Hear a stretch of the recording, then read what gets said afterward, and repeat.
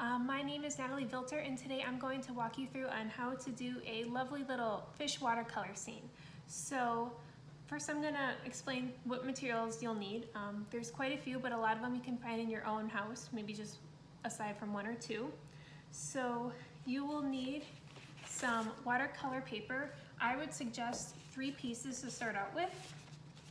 Um, you will need a ruler, pencil and an eraser, some scissors, um, some watercolors,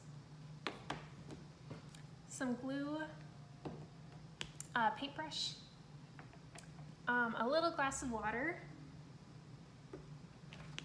um, and then some crayons, and then some optional things that you can use is you can grab some salt from your um, kitchen along with some saran wrap and maybe just a little squirt bottle if you so choose. You can um, you can also use like a, a hand sanitizer spray kind of just like this and just like if, when you're done with it you can just fill it with water which is what I do at home. Okay, so to start out with we are going to watercolor our papers. So we're going to watercolor two sheets and I already completed one of them just to complete time. And so it looks a little abstract right now, but that doesn't really, re really matter because we're going to just cut it up. And I'll show you all the fun tricks that you can do to have some of these fun textures I have on here. So um, I would recommend doing two different colors per each uh, watercolor paper. I would suggest a blue one because we're going to make a lovely water scene. So you'll have to do one sheet blue and then one of your choice, which is what we're going to use to make some fish. So for me, I think I'm going to do just some oranges, lots of, and warm colors like yellows, oranges, and reds, because I want to make some lovely goldfish to be swimming in my little scene. All right, so you are going to take one sheet of watercolor paper, some water, water, um, and then your watercolors and a paintbrush. And then maybe also your spritzy thing. So I'm just gonna wake up my watercolors. Here, I'll put this down so you can see. I'm just gonna squirt a little bit into each one. You can also just use your paintbrush and just dip in your water and then just kind of fling some water into each page, onto each thing. All right, so I'm just, let's see.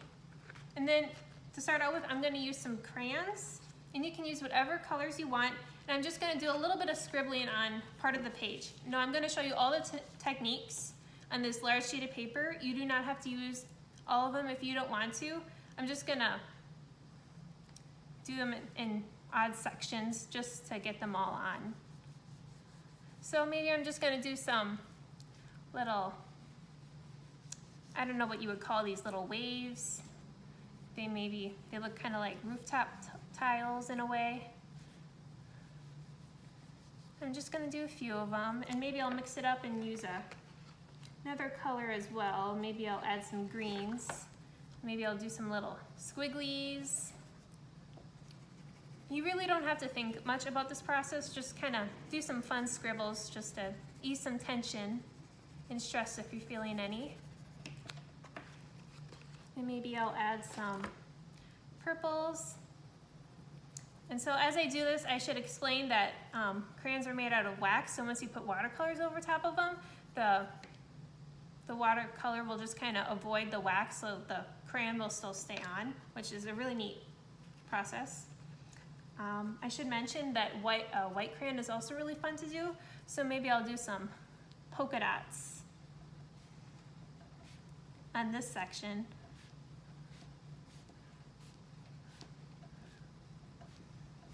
And the polka dots are really cool because, I mean, it'll just show up as white after you put the watercolors over top. Um, it'll look a lot more interesting when I, I'm, it's done. So I'll just add a few more. And you can really just have fun on this page. You can do lots of scribbles and stuff. All right. So then I'll show you this technique and then I'll go into the next one. So I'm just gonna take some watercolor. I'll start with some orange and just kind of paint over top of the crayon. And as you can see, the, the crayon is starting to show. So maybe add a little bit more water your whole thing doesn't have to be like the exact same value of color. You can have some lighter oranges maybe in the corners, maybe some darkers there, whatever you would like. And then maybe I'll add some reds in here. And it's kind of fun because the water will kind of bleed into the orange and it'll be really cool. Just the way it kind of, you never know what's gonna, what you're gonna get. Maybe some more yellow over here.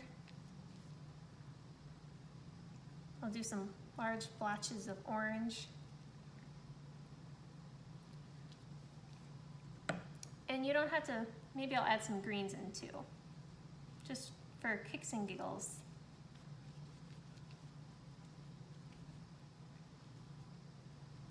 Right, now I'm gonna show you the next te technique that you can use is um, you can use the salt. So I'm just gonna, in this area, I'm just gonna quick put some watercolor. Maybe I'll add a little bit of blue in here too.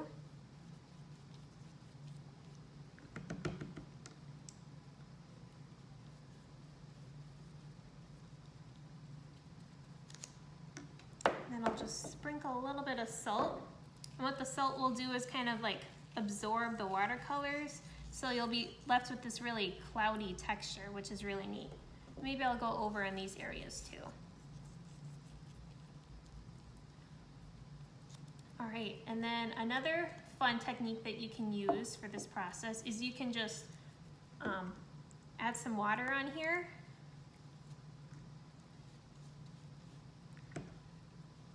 And you can just apply some watercolor right on top and it'll kind of just kind of float around. You'll kind of see these fun splotches and they'll start to spread.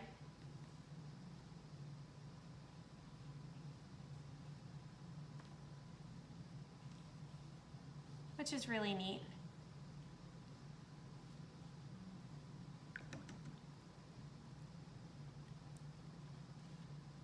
Um, maybe some more red. Okay, and then uh, you can also use your saran wrap in some areas. Uh, let me finish this up really quick too. My mistake. Uh, that's a yellow. Maybe some more orange.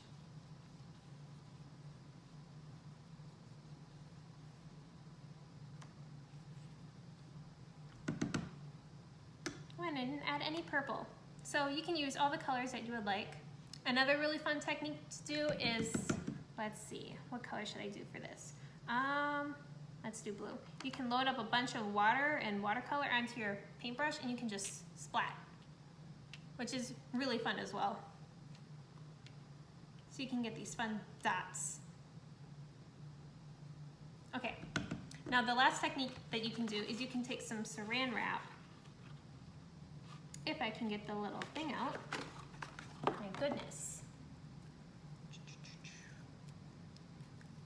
Um, I should mention while I try to get, oh, there we go. Never mind. I'll save that little tidbit for the later. And I'm just gonna take my scissors and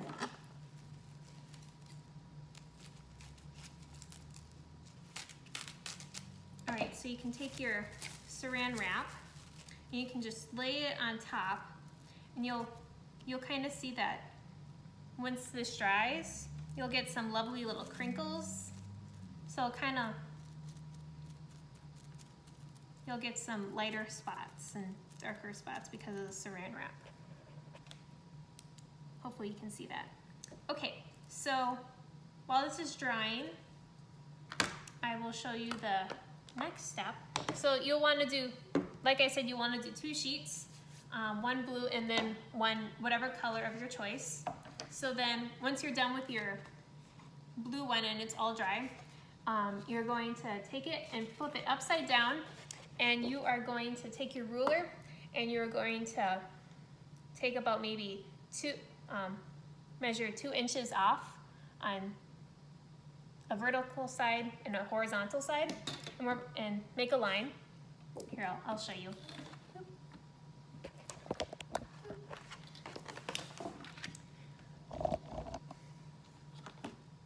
So you'll just, let's see. You'll just take your pencil and just mark two, in, two inches across the entire sheet. And then you'll just take your ruler and you'll just draw a line to connect those. And then you'll do it on the same side over here. Two inches, two inches, and then connect them with a, a longer line. And then you are going to take your scissors, I'll move this over here again, and you're going to cut along that line.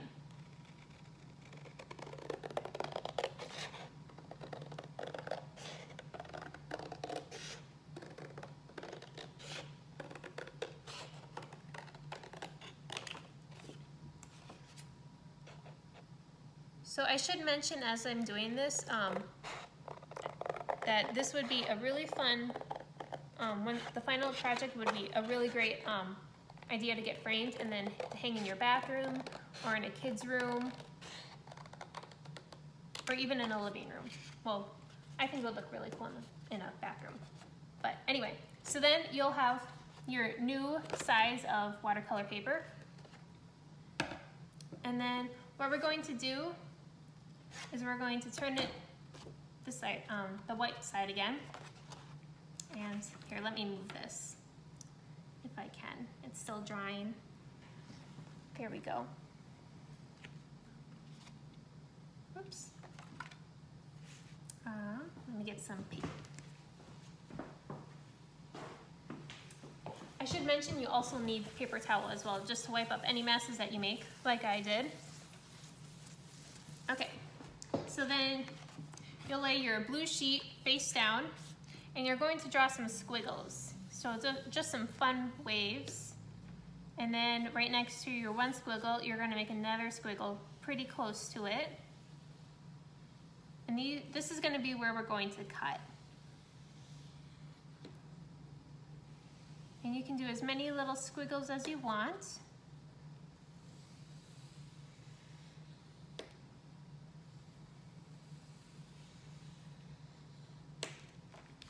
As you can see, I drew about, I drew six squiggles, um, two really close to each other, so they look like little, they look like giant worms.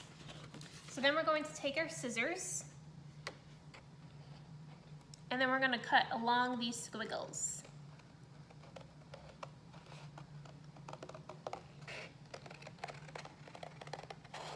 And if you don't want to, you don't have to use a, um, a pencil. You can just um, freehand this if you would like.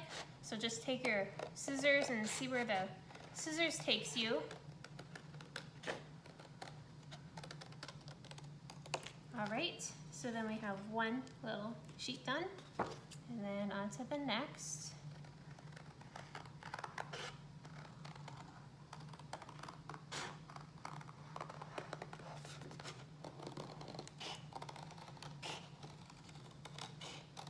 All right, so we have one little worm and we're just gonna set it off to the side. We won't be using that piece.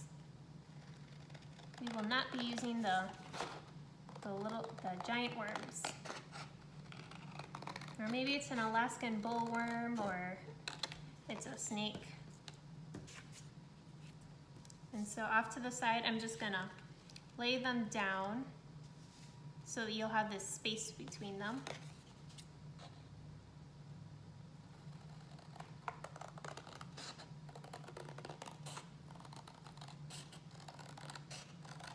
And here's another little worm.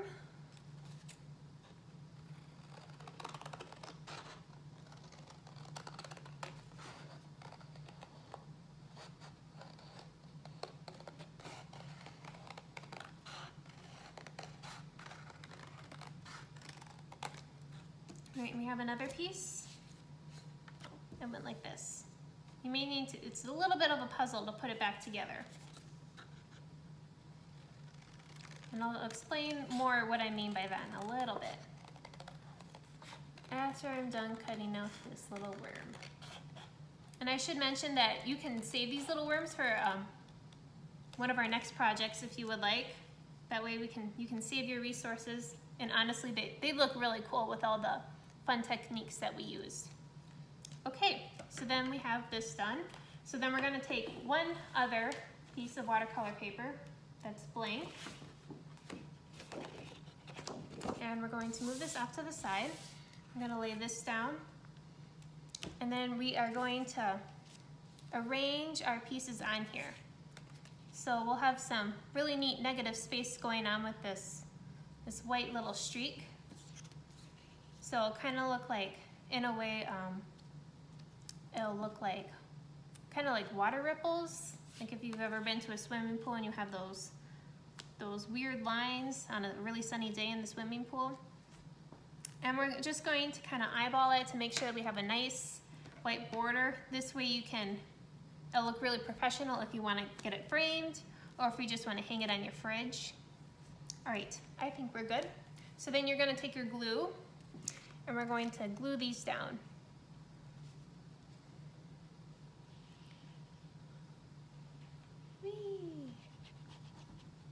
There we go. And watercolor paper is a little hefty, so you may need to press it down for a little bit if need be.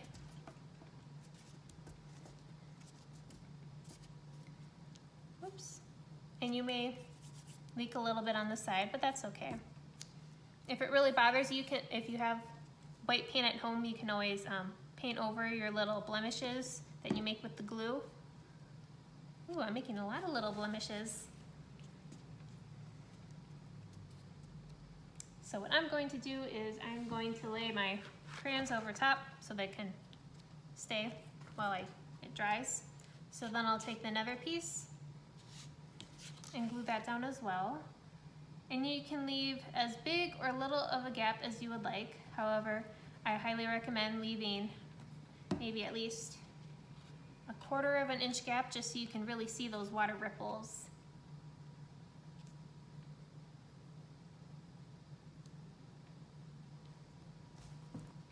And I guess the paper towel also comes in handy for wiping off the glue on your fingers. However, I always like to peel it off as well. Okay, on to the next piece.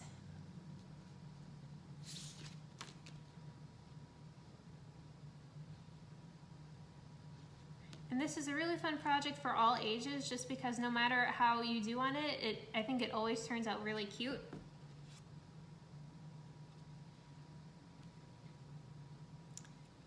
And I don't know if any of you are in 4-H, but I think it'd be a lovely 4-H project to do.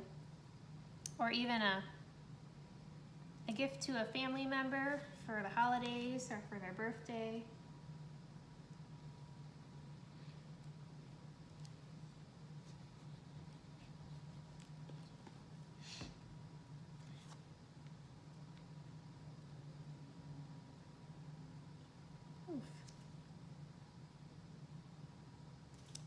And I think while I was gluing, I got a little off center, so you can just slide it over. All right, so we have this part is done, and as you can see, it, it looks really neat. Here, I'll flip it here, so. The sides are curling a little bit, so I may have to add some more glue.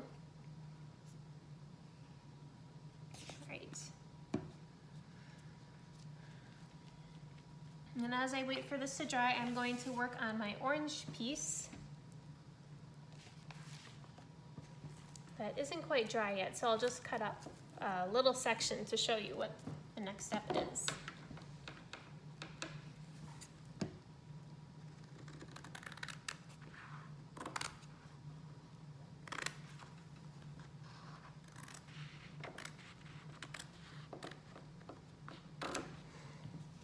so here's a little section, whoops. I'm just gonna kind of air dry it a little bit. Right, so what we're going to do with this orange piece, or whatever color you decide to make, is you are going to um, make a fish. So I can turn it off onto the side. And I'm just going to draw a fish. Now for me, you can draw a fish however you would like. I always like to start with a circle. And then I do a little, I don't know what you would call this, like a little ringlet and then some, some fun lips which looks like a sideways heart. And on the opposite side, I'll do another little crescent, but maybe it's a little bit bigger. And I'll just draw some fins. And my fins kind of look like a Pac-Man. I guess that's how you would describe it. and then maybe I'll draw a fin up here. Or like a, I don't know what this would be called. If it's called anything. It looks like an Elvis hairdo. Right. And I'd suggest letting this dry, but honestly, I had it on the table and kind of made it fun texture on the, the table. So you can do that too. All right, and then we're going to cut along our edge.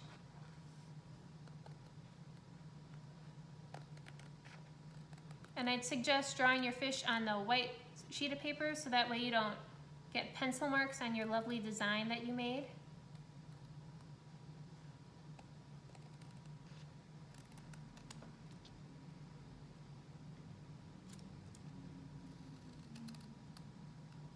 Your fish does not have to look exact or real.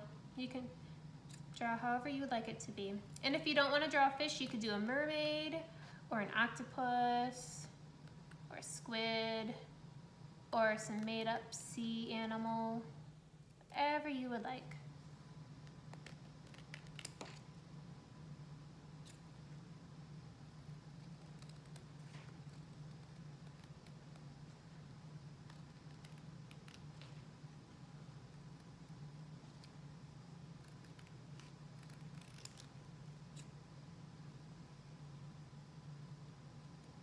Almost done with these lovely little fish lips. And here we go. So we have a little fish design and you can give your fish eyes if you would like. All right, so, oh, it's curling again. You may have to put like a book over top or something just to keep it um, from not curling. So then you'll take your fish and you can just lay it over top. I'm going to quick make a little, I don't know what you would call this. There we go. There, I'll, maybe I'll do a fish there, and maybe I'll want to do another one.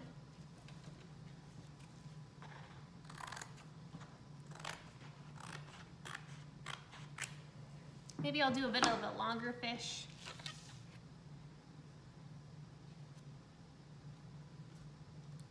Maybe for this one, I'll do like a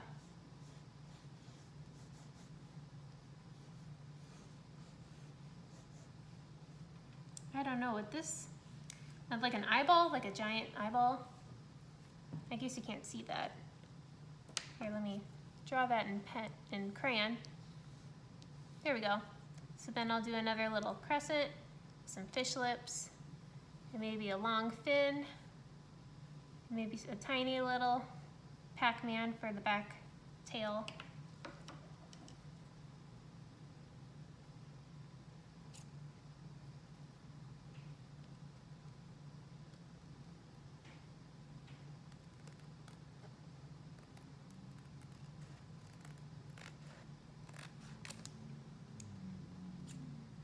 And I, you have all these weird snibbles from cutting the, the fish and from doing your little water riplets uh, to make your little worms, but you can use those for further projects that we'll use if you would like. I think that that would save you some time if you wanted to. All right, so we're almost done.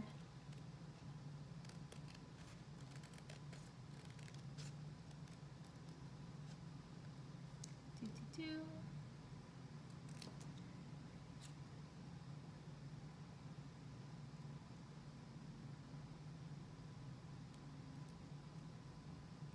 All right, here we have another fish. See? And then we'll just lay that on here as well. And move my schnibbles out of the way. All right, so then what we'll do is we'll just take some glue and we'll glue our little fishes down.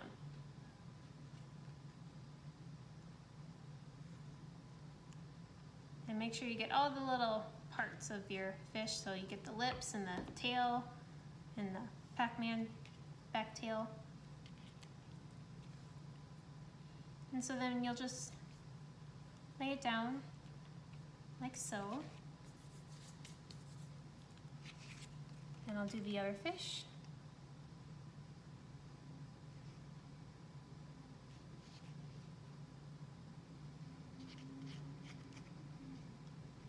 And like I said before, once your watercolor dries with all the techniques that you use, um, all the techniques really show up and it looks really neat.